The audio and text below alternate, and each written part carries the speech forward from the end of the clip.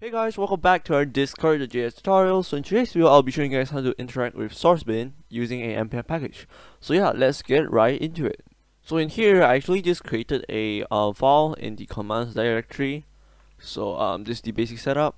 Alright, and then uh, we can do we can start by installing a package. I'm just gonna name this bin. Okay, we can start by installing um, SourceBin. So let's just do npm i SourceBin. So I already installed this, so I'm not gonna reinstall it so um just do that if you haven't already. Okay once you're done with that we're just gonna require SourceBin right over here so cons is require SourceBin. Okay so in here we're actually just gonna require a create method. So we're just gonna create um new um links. So we can just do this and then in here we can just do create and you can pass in a array an array okay so in here we can give a name of object. So the name is going to be a name. So what name do you want your code to be? So I'm just going to name this um, a random code. Okay and then content. Okay so um here's the content that we want to specify the code in. So I'm just going to do something like this. Const code equals const content. So const content equals args.join there is no content return message.reply please specify a content. Please give content or something like that. Okay you can put whatever you want in here. So content will be content so we can just do this because it's javascript syntax. And then we can do language. I'm just gonna put javascript in here. All right so once that's done um there will give you a uh, options to give you title and also description. So uh, just want to explain something real quick. Oops wrong. So let's say if you send a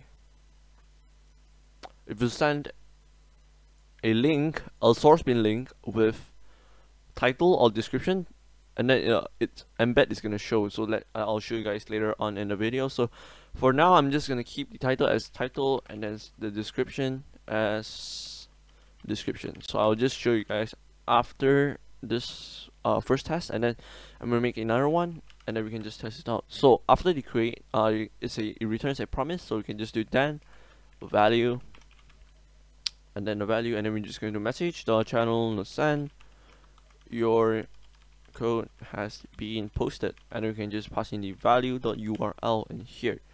So yeah let's just test this out real quick.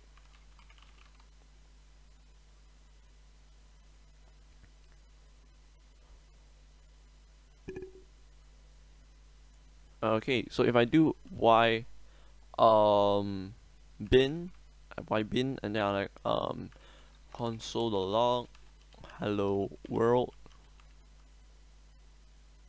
okay. And then um it's gonna post. Okay once it's done posted so this is the embed. Basically the title is um right over here. Title and then the description is over here. Okay so let me just click on the code to show you guys that it's actually working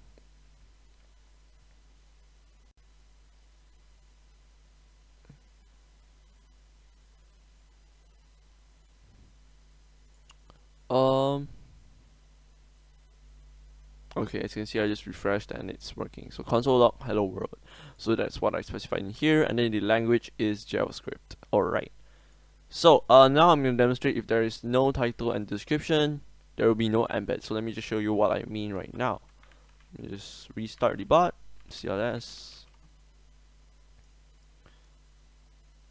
let me just copy this command